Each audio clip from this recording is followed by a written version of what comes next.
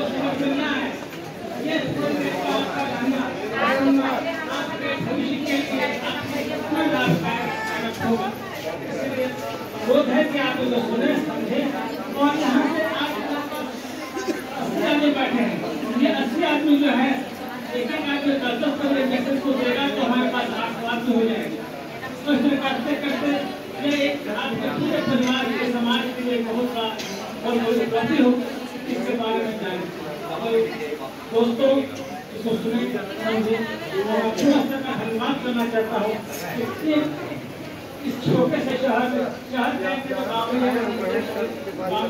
और लोगों के बीच में ले जाए और लोगों को कहे कि हम कैंसर के लिए बचाव में ये जानकारी मिलनी चाहिए मैं आप लोगों को देता हूँ कि वो कैंसर की समस्या निरंजन जी डॉक्टर राजेश नारायण जी। कैंसर आज जो लोग दिन चुने हैं उसका कोई महत्व?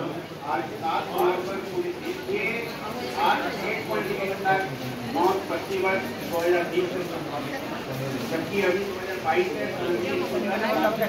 हर साल